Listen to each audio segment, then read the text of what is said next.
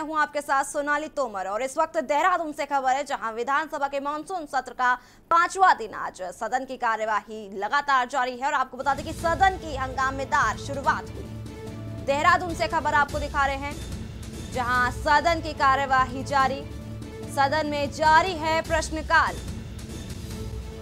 सदन की हंगामेदार शुरुआत हुई। विधानसभा के मानसून सत्र का पांचवा दिन आज। आपको बता दें कि सदन की हंगामेदार शुरुआत हुई। सभी विधायक अपने अपने क्षेत्र के सवाल उठा रहे हैं। आज मानसून सत्र का पांचवा दिन। सदन की कार्यवाही जारी। सभी विधायक अपने अपने क्षेत्र के उठा सवाल उठा रहे हैं। आपको बता दें कि थोड़ी देर में सीएम पुष्कर सिंह धामी विधानसभा पहुँचेंगे। देहरादून से खबर आपको दिखा रहे हैं, जहाँ विधानसभा के मानसून सत्र का आज पांचवा दिन। सदन की कार्यवाही जारी, और आपको बता दें कि जोरदार हंगामे के साथ सदन में शुरुआत हुई। कानून है। उसको वापस लिए जाने की मांग को लेकर के आज प्रदर्शन किया गया। हमारे साथ खुद नेता प्रतिपक्ष सिंह जी हमारे साथ हैं। आज अध्यक्ष जी, आप कार की जगह ट्रैक्टर से आए हैं, गन्ना हाथों में लेके आए क्या वजह? देखिए, ट्रैक्टर भी किसान का प्रतीक है और गन्ना भी किसान का प्रतीक सत्ता में बैठे हुए लोगों ने किसानों की आय दुगना करने का वादा किया था। इसके साथ साथ किसानों की ऋण माफ़ी का भी वादा किया था। लेकिन दोनों ही वादों पर सरकार खरी नहीं उतरी है और आज किसानों के हितों के विपरीत तीन काले कानून जो है, सत्ता में बैठे हुए लोगों ने किसानों पर थोपने का काम किया, जिसका किसान पुरजोर तरीके से विरोध कर रहे हैं। आज दिल्ली की, सीमा पर किसान जो है संघर्ष करने का काम कर रहे हैं और इस संघर्ष में लगभग 600 किसानों की शहादत हो गई है। सरकार के कान पर जून तक नहीं रेंग रही है। इसलिए आज हमने सड़क से लेकर सदन तक जो है किसानों की आवाज़ को बुलंद करने का निर्णय लिया। के हितों के मुद्दे को लेकर के आज कांग्रेस कार्य स्थगन प्रस्ताव जो है सदन के अंदर लाना जाए तो ये थे हमारे साथ नेता प्रतिपक्ष प्रीतम सिंह जिन्होंने किसानों के मुद्दे पर जमकर केंद्र और राज्य सरकार को घेरा है और साथ ही साथ उन्होंने बताया है कि आज इस सत्र के दौरान कांग्रेस पार्टी किसानों के मुद्दे पर का, जो कार्यस्थगन प्रस्ताव है उसको लेकर के आने वाली तो कुल मिलाकर के सदन की जो पाँचवें दिन की कार्रवाई है वो काफ़ी हंगामेदार दिख रही है और किसानों के मुद्दे पर आज पूरी तरीके से सदन में हंगामा देखने को मिल रहा है। अपने सहयोगी लई के मत के साथ अंकित काला के न्यूज़ इंडिया देहरादून सदन की कार्यवाही लगातार जारी है और सदन की कार्यवाही जोरदार हंगामे के साथ शुरुआत हुई। तमाम जानकारी के हमारे साथ ऑनलाइन पर अंकित काला हमारे साथ जुड़ चुके हैं हमारे संवाददाता। अंकित आपसे जानना चाहेंगे कि अ, सदन में मानसून सत्र की शुरुआत हो गई है और जोरदार हंगामे के साथ ये शुरुआत हुई। पूरी जानकारी आपसे जानना चाहेंगे कि वहाँ क्या देखने को मिल रहा है?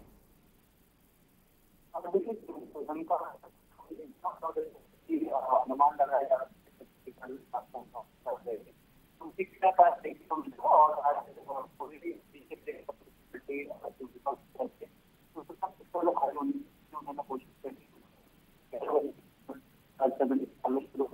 बाद हमने देखी नेता जो कांग्रेस के विधायक हैं और उसकी बिना सवाल पहुँचे और इसका आरोप ये था कि जब से अ, सत्ता में अ, केंद्र की बात करें चाहे राज्य की बात करें तो दोनों ही अ, जी।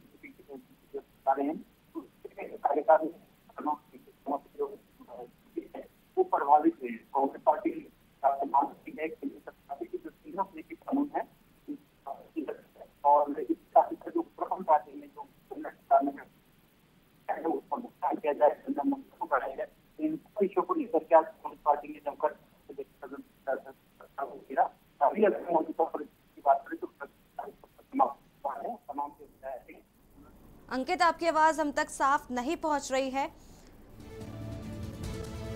पूरी जानकारी के लिए आपका बहुत बहुत शुक्रिया, अंकित। बता दें कि विधानसभा के मानसून सत्र का पांचवा दिन आज है और, सदन में शुरुआत जोरदार हंगामे के साथ हुई। कार्यवाही लगातार जारी है। सभी विधायक अपने अपने क्षेत्रों के बारे में उन्होंने सवाल उठाया सदन के अंदर। विधानसभा के मानसून सत्र का पांचवा दिन आज देहरादून से खबर आपको दिखा रहे हैं।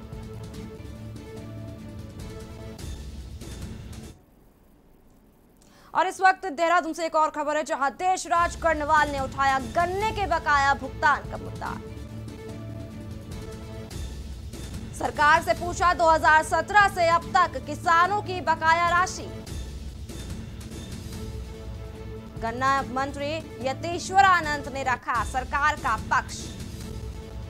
आपको बता दें कि शुगर मिलों पर अब भी करोड़ों रुपए का बकाया बाकी है और 2017 से 2018 में इकबालपुर चीनी मिल पर चौहत्तर दशमलव आठ करोड़ रुपए बाकी है। वहीं 2018 से 2019 में इकबालपुर चीनी मिल पर 104 दशमलव सात चार बकाया है। लक्सर मिल पर भी बकाया है बावन करोड़ रुपए। सरकार से पूछा 2017 से अब तक किसानों की बकाया राशि।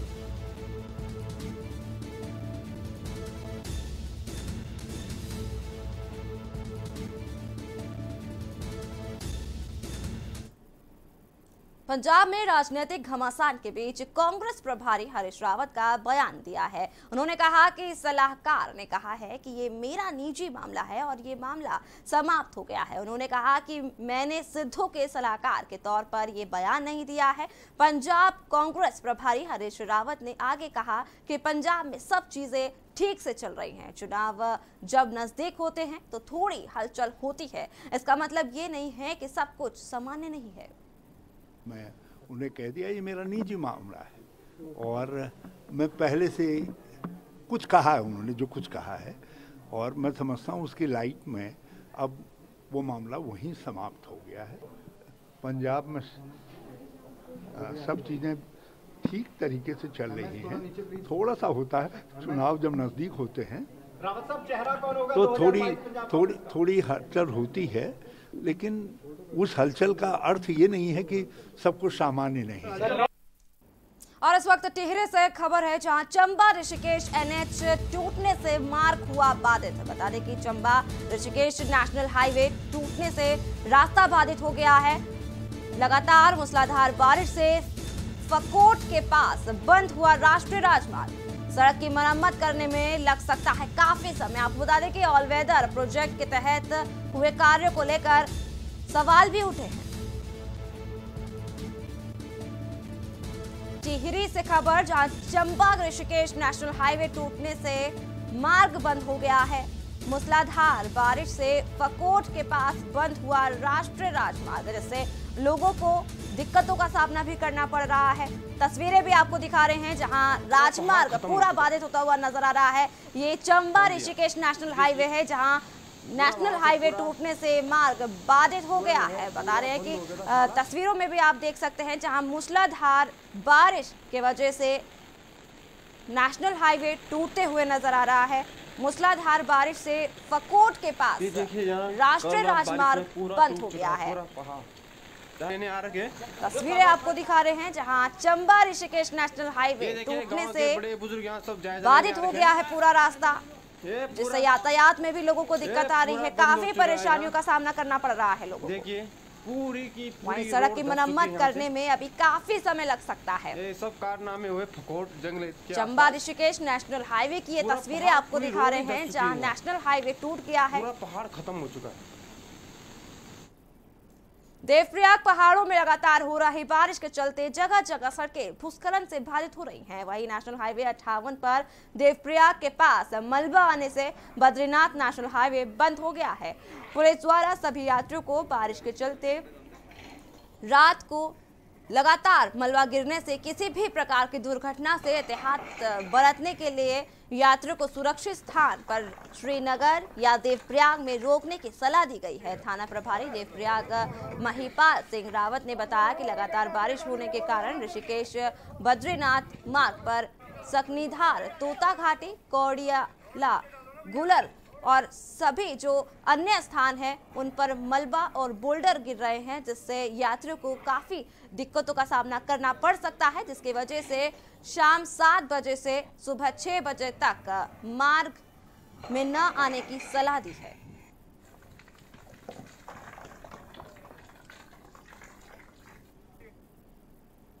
खबर लक्सर से है, जहाँ रेलवे के मुरादाबाद मंडल के नव नियुक्त डीआरएम अजय नंदन ने लक्सर पहुंचकर लक्सर रेलवे स्टेशन का निरीक्षण किया।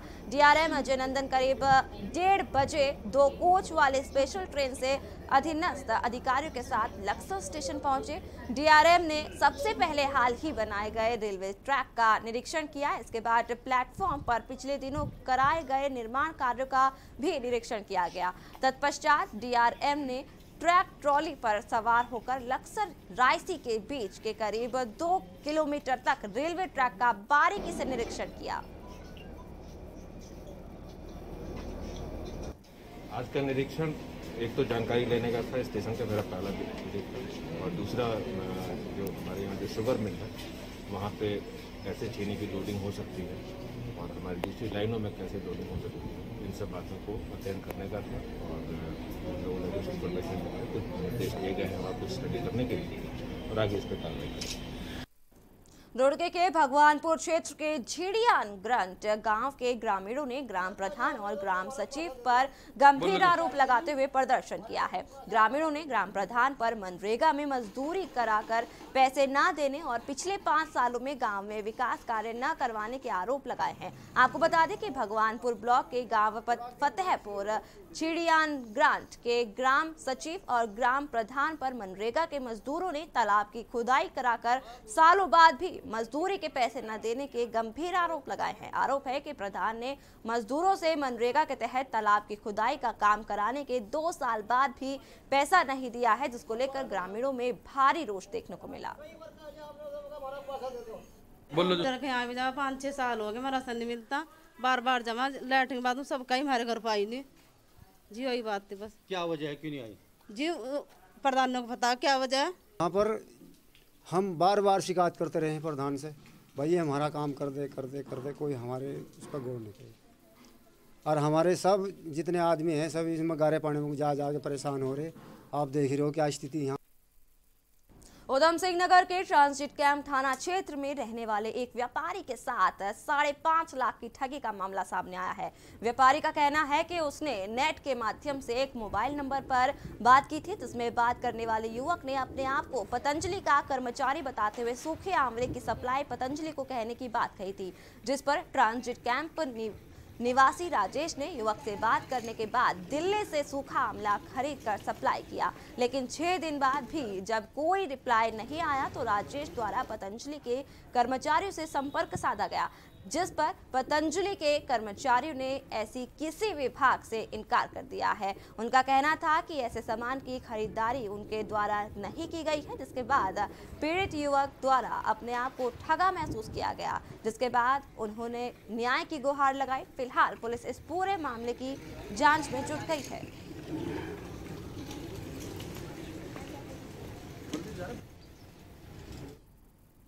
नैनीताल में पीएमजीएसवाई के तहत निर्माणाधीन देवी धूरा बसानी मोटर मार्ग खस्ता हाल हो चुकी है। वहीं सात गाँवों को जोड़ने वाले लिंक मार्ग इन दिनों इस कदर कीचड़ भर गया है कि स्कूली छात्र छात्राओं सहित ग्रामीणों को दिक्कतों का सामना करना पड़ रहा है। अब ग्रामीणों ने आंदोलन शुरू कर दिया है। बृहस्पतिवार को ग्रामीणों ने देवी धूरा में कीचड़ भरी सड़क में धान लगाकर विरोध जताया। बता दें कि पीएमजीएसवाई के तहत देवी धूरा से बसानी मोटर मार्ग के खराब हालत में सुधार न होने से अब ग्रामीणों सड़कों पर उतर आए हैं। कई दिनों से विभागीय अधिकारियों के झूठ झूठे आश्वासन से लोग काफ़ी ज़्यादा परेशान हो गए हैं।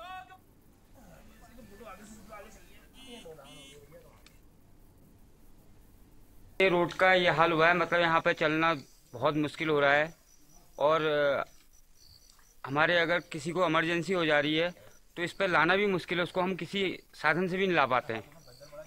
और बच्चे स्कूल के ड्रेस पहन के आ रहे हैं, उनके स्कूल जाने तक ड्रेस खराब है, जो ऑफिशियल जा रहे हैं, उनका ये हाल है कि बस कीचड़ से सने हुए हैं, कि वो ऑफ़िस में जाते तो उनसे, उनका अफसर कहता होगा कि आप कहाँ से आ रहे हो? वो भी पूछ रहे होंगे। पीएमजेएसवाई द्वारा जो कार्य किया गया है, ये जी जीएसबी जो बिछाई गई है, ये लोकल और ये मिट्टी है। इसी की वजह से काम हो रहा है। बार बार हमारा विरोध करने के बाद भी मान नहीं रहे हैं। और लगातार यही काम किया जा रहा है इनके द्वारा। और ग्रामीण परेशान है, हम परेशान है, स्कूल के बच्चे परेशान हैं। लगातार ये आंदोलन, अब आंदोलन करना ही पड़ेगा इनके लिए। और इस वक्त डोईवाला से खबर सामने आ रही है। डोईवाले से खबर, जहाँ रानी पोखरी में बड़ा हादसा।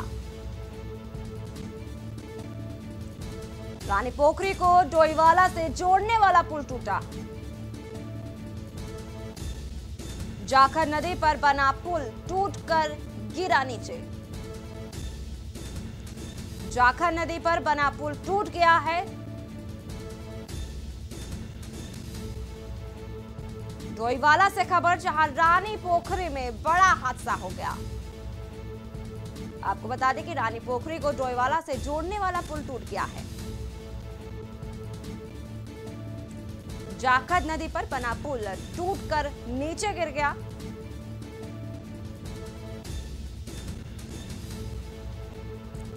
जाखर नदी पर बना पुल। टूट गया। डोईवाला से खबर, जहाँ रानी पोखरी में बड़ा हादसा हुआ। आपको बता दें कि रानी पोखरी और डोईवाला से जोड़ने वाला पुल टूट गया है। तस्वीरें भी आपको दिखा रहे हैं। तस्वीरें आपको दिखा रहे हैं डोईवाला से, जहाँ ये रानी पोखरी में ये बड़ा हादसा होता हुआ नज़र आ रहा है। एक्सक्लूसिव तस्वीरें आपको दिखा रहे हैं न्यूज़ के माध्यम से, जहाँ रानी पोखरी को डोईवाला से जोड़ने वाला जो पुल है, वो टूट कर नीचे गिर गया है। जिसके बाद यहाँ पर स्थानीय लोगों की भीड़ एकजुट हो गई। एक्सक्लूसिव तस्वीरें आपको दिखा रहे हैं के न्यूज़ के माध्यम से जहाँ रानी पोखरी को डोईवाला से जोड़ने वाला पुल टूटकर नीचे गिर गया। एक्सक्लूसिव तस्वीरें आपको दिखा रहे हैं के न्यूज़ के माध्यम से जहाँ पुल टूटने के बाद स्थानीय लोग मौके पर एकजुट हो गए। लोगों की भीड़ एकजुट हो गई। डोईवाला से खबर, जहाँ जाखद नदी पर बना पुल टूटकर नीचे गिर गया। रानी पोखरी में बड़ा हादसा देखने को मिला, जहाँ पुल जो है टूटकर नीचे गिर गया है। रानी पोखरी को डोईवाला से जोड़ने वाला पुल टूट गया है। जाखद नदी पर बना पुल टूटकर नीचे गिरा। तस्वीरें आपको दिखा रहे हैं एक्सक्लूसिव तस्वीरें आपको दिखा रहे हैं। जहाँ रानी पोखरी को डोईवाला से जोड़ने वाला पुल टूट गया।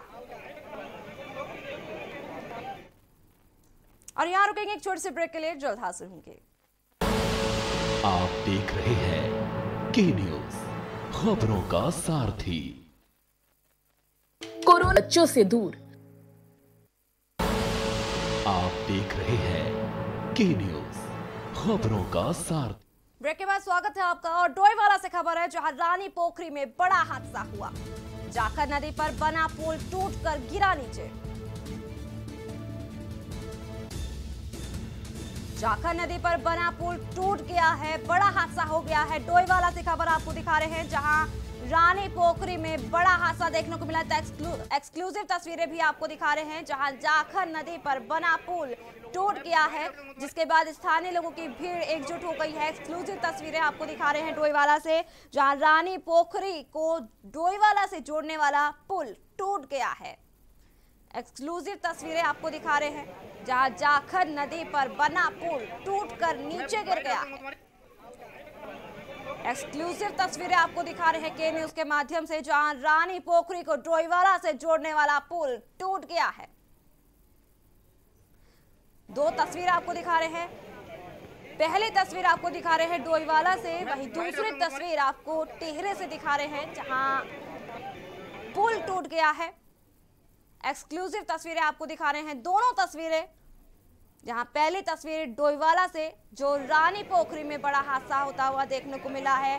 रानी पोखरी को डोईवाला से जोड़ने वाला पुल जो है, वो टूट गया है। वहीं दूसरी तस्वीर टिहरी से है, जहाँ नेशनल हाईवे टूट गया है, जिससे रास्ता जो है बाधित हो गया है। लोगों को काफ़ी दिक्कतों का सामना करना पड़ रहा है टिहरी में भी।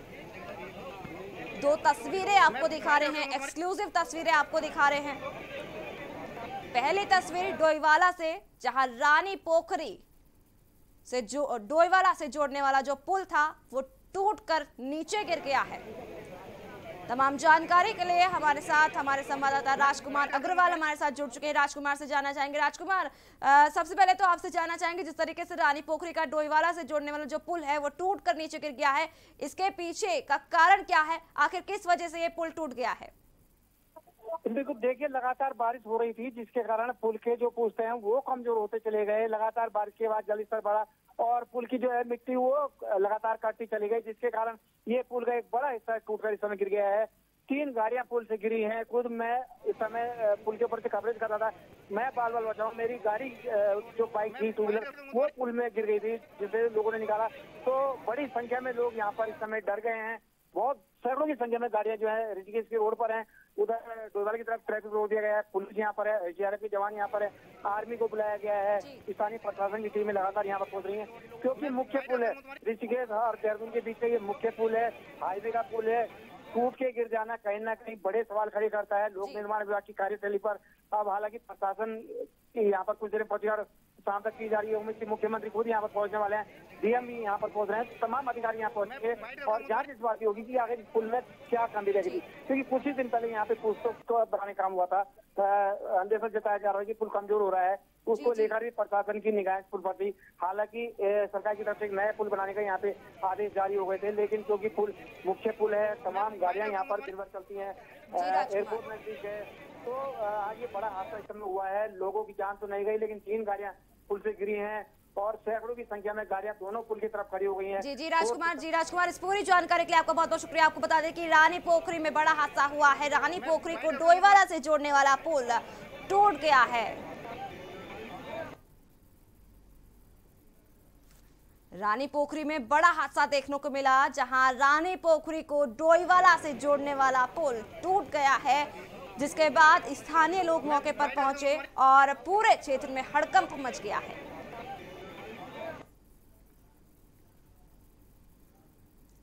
और इस वक्त बड़ी खबर आपको दिखा रहे हैं, जहाँ देहरादून पुष, मुख्यमंत्री पुष्कर सिंह धामी पहुँचे विधानसभा। देहरादून से आपको खबर दिखा रहे हैं, जहाँ मुख्यमंत्री पुष्कर सिंह धामी विधानसभा पहुँचे सदन की कार्यवाही में मुख्यमंत्री ने प्रतिभाग किया। विधानसभा पहुँचे हैं मुख्यमंत्री पुष्कर सिंह धामी देहरादून से खबर आपको दिखा रहे हैं, जहाँ मुख्यमंत्री पुष्कर सिंह धामी विधानसभा पहुँचे।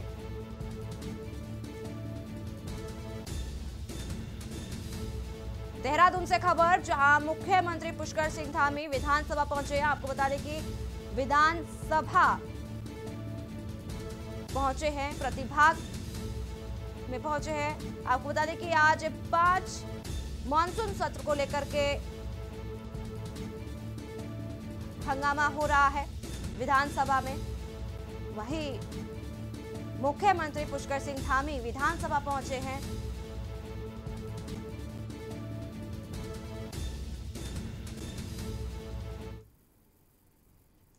खबर उत्तराखंड में फ़िलहाल इतना ही। बाकी की तमाम खबरों को जानने के लिए आप देखते रहिए के न्यूज़ इंडिया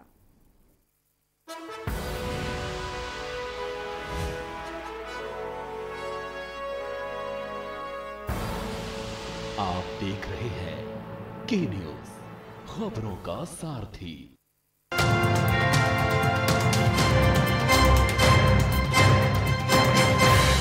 नमस्कार। उत्तराखंड में चल रहे विकास कार्यों को मिलेगी अब नई गति। सड़क निर्माण के लिए केंद्र सरकार से मिली 1300 करोड़ रुपए की सौगात। वहीं देहरादून से टिहरी तक 35 किलोमीटर लंबी डबल लेन सुरंग बनने का रास्ता भी हुआ साफ़। ऑनलाइन पढ़ाई को आसान बनाने के लिए उत्तराखंड सरकार प्रदेश के सभी राजकीय स्कूलों के कक्षा दसवीं और बारहवीं में पढ़ने वाले छात्र छात्राओं को निशुल्क मोबाइल टैबलेट देगी। इन मोबाइल टैबलेट्स में सभी प्रकार की शिक्षण सामग्री पहले से उपलब्ध रहेगी, जिससे उन्हें पढ़ाई में सुविधा होगी।